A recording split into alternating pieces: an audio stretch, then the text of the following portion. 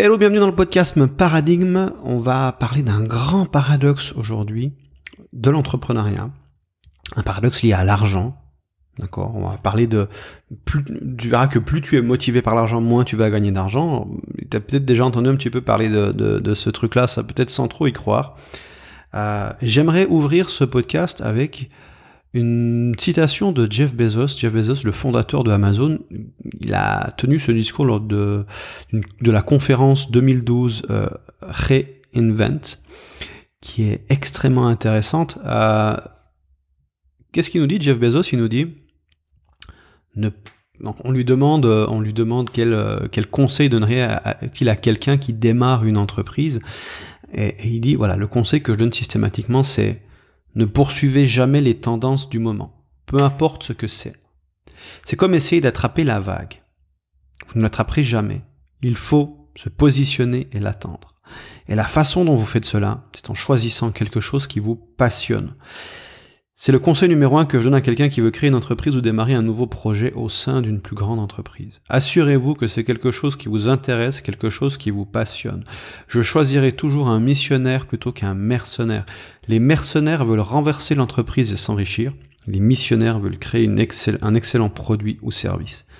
Et l'un des grands paradoxes, ce sont généralement les missionnaires qui finissent par gagner plus d'argent. Alors on va un peu décortiquer aujourd'hui ce que Jeff Bezos nous dit euh, de manière métaphorique avec la vague dans, cette citation-là. Euh, il illustre, euh, Jeff Bezos, il illustre deux mindsets business qui s'opposent. Il les nomme le mindset du mercenaire et le mindset du missionnaire. Le mercenaire, c'est celui qui veut, qui part au combat, qui veut faire de l'argent.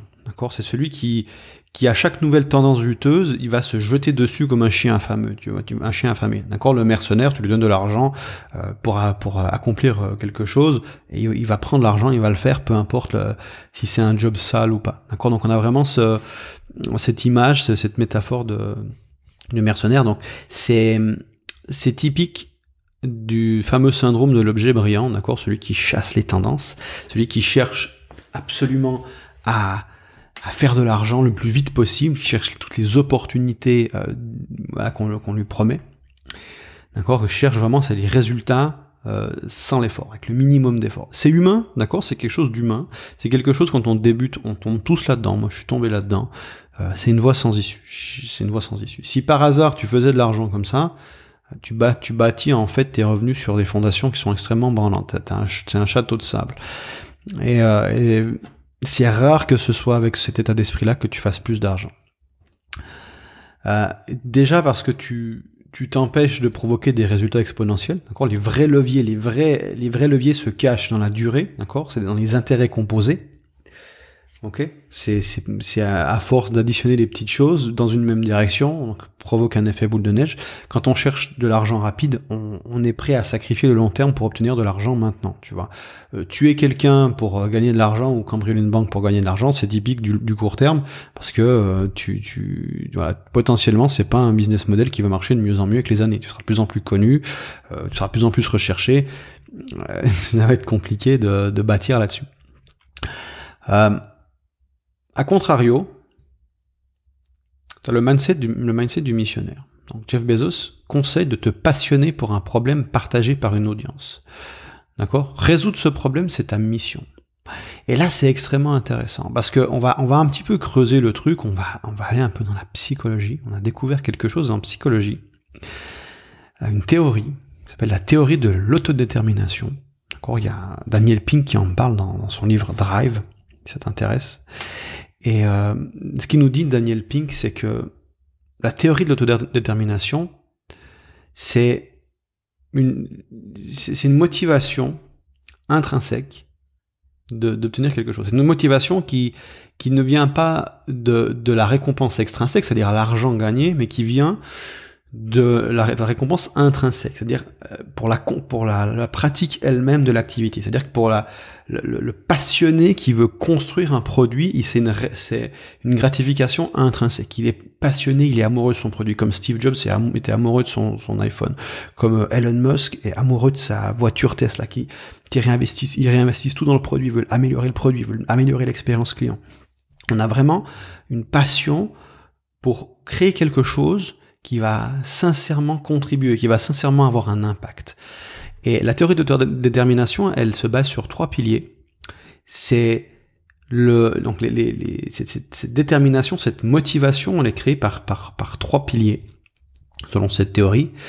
Euh, c'est le désir d'autonomie, d'accord? Donc c'est c'est envie de, de, pouvoir avoir du contrôle dans nos vies, de, de contrôler nos vies, de, les rendre, de rendre notre vie meilleure chaque jour. Deuxième, c'est le besoin de maîtrise. D'accord? C'est le, le, besoin de, de devenir meilleur à quelque chose qui a de l'importance pour nous. Et troisièmement, c'est le besoin de but.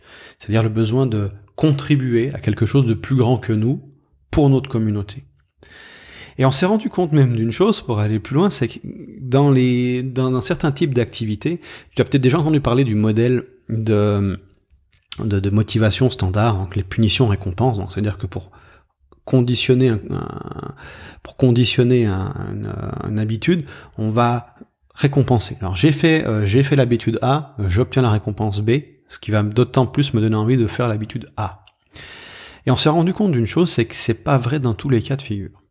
C'est vrai seulement quand les tâches sont très linéaires, sont très simples. Genre si tu dois, euh, je sais pas, faire ta review de la semaine et que tu as une checklist à cocher A, B, C, D, et que c'est des tâches très linéaires ou qui demandent pas trop de réflexion. À l'opposé des tâches linéaires, on a les tâches créatives, les tâches qui demandent de, la cognition, de la réflexion, qui sont, qui sont euh, un peu plus chaotiques, d'accord, qui, qui sous-entendent venir avec une solution créative. Et dans ce cas de figure-là, quand on propose une récompense en échange de ce, de ce type de travail-là, on obtient l'effet inverse le fait de proposer la récompense va diminuer la motivation. C'est vachement intéressant. Euh, on s'est rendu compte de ça, et ce qu'en psychologie qu'on appelle le Sawyer effect, l'effet Sawyer de, tiré de, de, Tom Sawyer, où en fait on transforme le jeu en travail. Parce que si on fait un truc gratuitement, on va considérer comme un jeu, comme un plaisir. Par exemple, on a des développeurs, des programmeurs qui programment un système d'exploitation qui s'appelle Linux. Ils le font gratuitement sur leur temps, sur leur temps libre, alors qu'ils ont déjà un travail, ils sont payés pour ce travail, ils le font professionnellement et quand leur, leur temps libre, ils décident de le consacrer à construire, à fabriquer, à programmer un système d'exploitation. Pourquoi? Pourquoi ils font ça alors qu'ils sont pas rémunérés? Parce que la théorie de l'autodétermination, justement, c'est lié à cette passion, c'est ils ont envie de construire quelque chose de plus grand qu'eux, ça les motive beaucoup plus. Et, quand on quand on paye les gens pour faire ça, vraiment on transforme dans leur esprit cette idée de, de, jeu en travail. Tu fais ça gratuitement, mais si je te paye, tout d'un coup, ça devient une corvée. C'est quelque chose que tu dois faire pour une rétribution. C'est psychologique, donc on a tendance à inverser. Et pour revenir à ce que disait, à, ce que dit euh, Jeff Bezos, il nous dit qu'il faut se passionner, qu'il faut créer un service, un produit. Et quand on regarde Amazon, il a, il a, il a un principe qu'il appelle le customer obsession, c'est-à-dire vraiment t'obséder par le, le client, partir du client, de ses besoins, de ses désirs, de, le comprendre et revenir en arrière, faire du, du reverse engineering et construire une solution par rapport aux, aux besoins, aux désirs du client. Donc c'est vraiment c'est le, focus numéro un d'Amazon, c'est de s'intéresser au client, d'essayer de comprendre le client le plus en profondeur possible. Et à partir de là, on va créer la meilleure, le meilleure expérience client possible, le meilleur service, le meilleur produit possible. Et quand tu observes Steve Jobs ou Elon Musk ou d'autres entrepreneurs, tu verras qu'ils ont toujours ce même mindset là. Les grosses sociétés qui performent ont vraiment un focus, donc tu prends vraiment les grands visionnaires, ils sont pas focalisés sur l'argent. Euh, c'est une erreur de croire, quand tu quand tu es pas dans le milieu, que tu dis ah ben tous ces gens ils veulent juste gagner de l'argent. Et quand tu écoutes vraiment, quand tu lis les biographies, les autobiographies, quand tu les, tu les écoutes parler, quand tu les regardes travailler, ces gens-là sont pas motivés par l'argent. Euh, Elon Musk, ça fait ça fait longtemps qu'il aurait pu prendre sa retraite. Tous ces gros, ils auraient pu prendre leur retraite depuis longtemps. Ils auraient pu se tirer euh, sur un yacht ou je sais pas, se prendre une grosse baraque et arrêter de travailler pour le restant de leur jour et avoir plus d'argent qu'il leur en faudra jamais. Pourquoi ils continuent? Pour le pouvoir? Non, il y a autre chose qui les motive et cette théorie de l'autodétermination nous, nous, nous, pointe du doigt cette, euh, cette motivation qu'ils ont. Et tu vas prendre par exemple Elon Musk, Elon Musk, il a passé beaucoup plus de temps que la personne moyenne à penser au sens de la vie, à créer un sens pour sa vie. Il a passé des milliers d'heures en pratique délibérée à se poser la question qu'est-ce qui est important pour moi dans la vie? Qu'est-ce qui a de la valeur pour moi? Quand il était déjà très jeune, je sais pas, une vingtaine d'années, je crois, il avait sa première copine. il lui a posé la question est-ce que tu penses qu'on peut construire des, voitures électriques? Est-ce que tu y crois? Il a répondu que non, mais il était déjà, il était déjà focalisé là-dessus. Il avait déjà son idée en tête, il avait déjà pratiqué, il avait déjà son but. Et quand tu crées, quand tu, quand tu, quand tu clarifies ton but, quand tu clarifies ce que tu veux construire quelque chose de plus grand, c'est comme ça que tu vas pouvoir te passionner par ce que tu fais. Et là, c'est là que c'est important. Si tu n'arrives pas à créer un but, tu n'arrives pas à créer dans ton esprit l'impact que tu vas avoir, c'est ça, c'est de te poser des, ok, quel est l'impact que je veux avoir dans ma vie pour les autres? Comment je, comment je peux m'autonomiser comment je peux avoir de l'impact pour les autres et comment je peux masteriser et quelles compétences je dois masteriser pour avoir cet impact-là. Tu vois, autonomie, maîtrise et contribution. C'est trois drives que tu dois mm, intrinsèquement importer dans ton business et te concentrer là-dessus. J'ai envie de tomber amoureux du produit que tu vas construire. Et tu construis ton produit non pas pour faire de l'argent, ça c'est la conséquence, mais tu construis ton produit pour avoir un impact, pour, pour pouvoir chambouler ton marché je veux penser plus loin, je veux faire plus, tu vois. Parce que si tu es juste en mode argent, qu'est-ce qui va se passer? Tu vas chercher des techniques de vente, des techniques de persuasion, des techniques marketing, comment je vends mon truc, comment je fais ci, comment je fais ça? Tu vas te poser des questions qui sont liées à la conversion, à, l'acquisition de trafic, qui sont liées à de l'optimisation marketing. Alors que si tu, pars sur le mindset du passionné et que tu veux vraiment contribuer, tu vas te poser d'autres questions. Comment je peux davantage avoir d'impact pour les gens sur mon marché? Quel est leur problème? Je veux les comprendre, je veux savoir ce qui va pas et comment je peux construire quelque chose qui va avoir 10, 50, 100, 1000 fois plus d'impact que les solutions actuelles? C'est ça les bonnes questions à se poser. Euh, ça demande du courage, ça demande du temps, mais comme dit, comme dit euh, Jeff Bezos, c'est toujours le missionnaire qui finit par gagner plus d'argent. Il y a un effet de levier. Peut-être que le marketeur à court terme va gagner un peu plus d'argent que toi mais le missionnaire, celui qui s'intéresse sincèrement, qui a une mission, une envie de contribution, celui-là là, va créer des produits de bien meilleure qualité. Pourquoi? Parce qu'il est passionné par intrinsèquement, il est récompensé par cette envie de créer des meilleurs produits. Alors que le, mercenaire, celui qui, qui s'en fout un peu du, produit, qui veut juste faire de l'argent, il n'aura pas l'énergie, l'amour nécessaire à mettre dans la création de ses produits. Il n'aura pas l'envie de s'intéresser aux clients en face de lui. Il aura juste, il va juste s'intéresser à lui-même et à son argent. C'est le meilleur moyen de créer des produits médiocres. C'est le meilleur moyen de se démotiver. C'est le meilleur moyen de, de changer euh, d'avis comme de chemise, c'est-à-dire qu'on change de, de, de, de, produit, en finant on fait de la création de contenu, après on part dans la crypto, après on va faire du trading, après je sais pas, on va aller euh, vendre des carottes au supermarché, peu importe. Tu vas juste chercher, euh, courir après la tendance du moment, essayer de faire de l'argent. Et c'est ça que Steve Jobs, euh, Jeff Bezos nous dit, c'est ne poursuivez jamais les tendances du moment. Passionnez-vous. Trouvez quelque chose qui vous passionne, maîtrisez. si, je reprends là, si je reprends ce qu'il dit, c'est ne chassez pas la vague.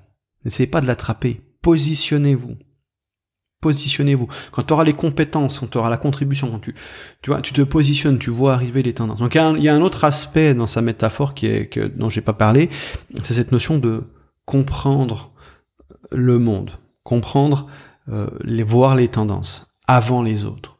D'accord? Voir arriver les vagues. Et ça sous-entend développer une vision beaucoup plus large. Mais ça sort du scope de ce podcast-là, de, de, de, de, ce, de cet épisode en tout cas. Euh, là où j'ai envie, j'ai envie de rester, c'est passionne-toi. Passionne-toi. Parce que tu fais, trouve un truc qui te passionne et fais, et, fais-le de manière fun. Fais, si tu prends pas plaisir à le faire, c'est qu'il y a un problème. Tu dois trouver vraiment la passion, non pas dans l'argent, dans les résultats que tu vas obtenir, mais en t'intéressant sincèrement à créer, à avoir un impact. Euh, quand je parle de tomber amoureux de ton produit, c'est peut-être pas la bonne, la bonne formation. Tu plutôt tomber amoureux de ton client plutôt que ton produit. Ça, c'est une meilleure façon de voir les choses. Tomber amoureux de ton client. Parce que si tu tombes amoureux de ton produit, tu es tombé amoureux de tes propres idées. Tu vas tomber amoureux de ton truc. Et encore une fois, tu vas te fermer par rapport aux besoins. On parle de contribuer, de créer quelque chose de plus grand que soi, de d'aider les autres, de maîtriser, de devenir une meilleure personne, d'aider les autres, et par conséquent de, s'autonomiser et d'autonomiser les autres.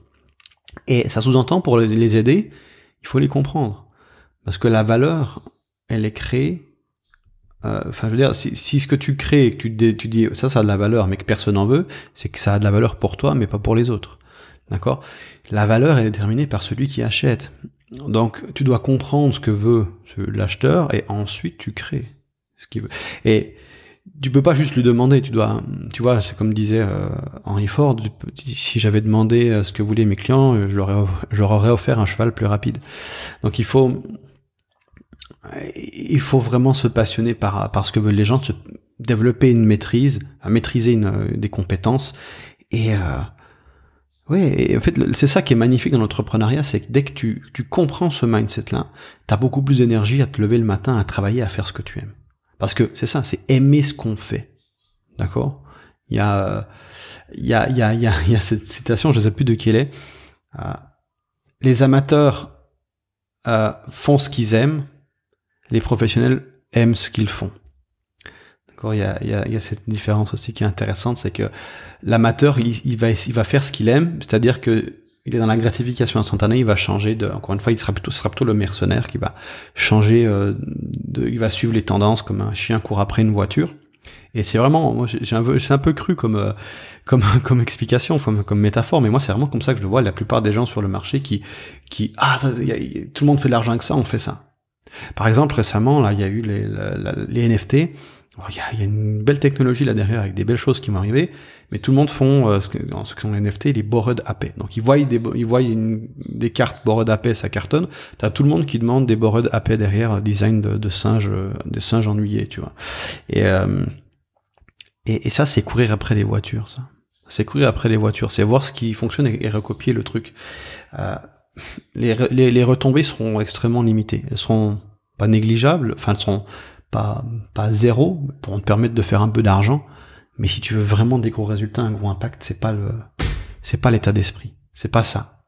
C'est tomber amoureux de ton produit, tomber amoureux de ton client surtout, ton, être passionné par ce que tu fais. D'accord? Je dois faire ça. Je veux contribuer. Je veux développer mon expertise. Je veux m'autonomiser. Je me passionne parce que je dois faire et je cherche pas il faut pas faut pas mettre la passion en premier enfin je sais pas comment expliquer ce truc là c'est très important faut pas, faut pas penser que tu vas être passionné à la première seconde quand tu fais ton truc. Si tu, si tu cherches la passion à la première seconde, tu cherches la gratification instantanée. Ah, j'ai fait ça aujourd'hui, j'ai pas aimé, je vais faire autre chose.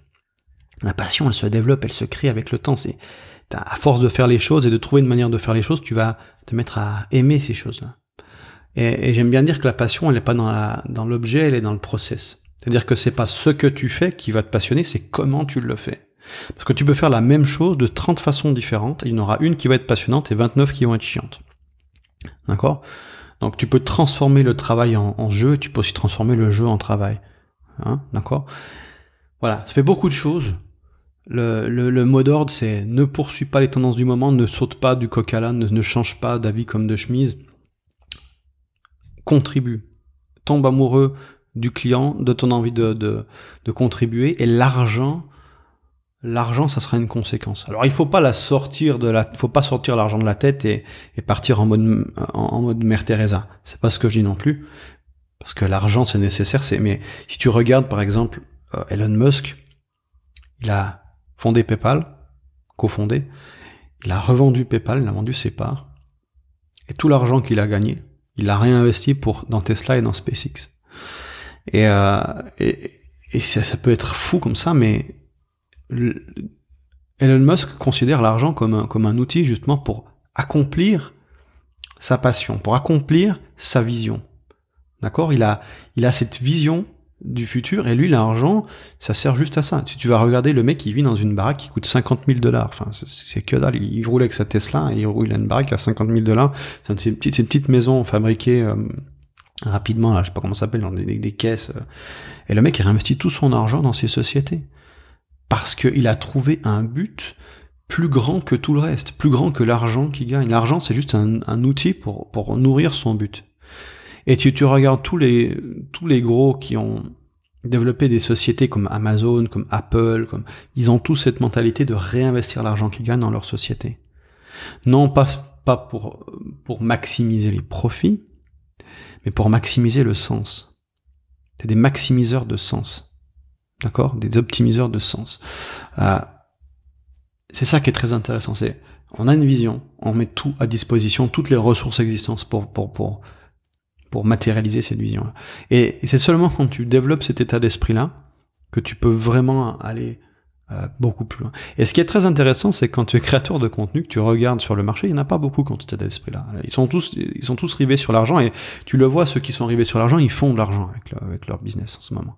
Parce qu'il n'y a pas tellement de compétition vraiment intéressante. Il n'y a pas vraiment de, de formateurs qui, qui ont vraiment cet état d'esprit-là. Ça veut dire qu'il y a beaucoup de place à prendre. Je vais te laisser sur cette pensée-là. Je te souhaite une magnifique journée. Et puis, il y a un lien dans la description si ça t'intéresse d'en savoir plus sur ma pensée, ma façon de voir le business, si ça résonne avec toi. Il y a un lien dans la description. Tu vas arriver sur une page avec euh, un formulaire d'inscription à ma mailing list. Je te laisse regarder ça, ça t'intéresse. Moi, je te souhaite une magnifique journée. À bientôt. Salut.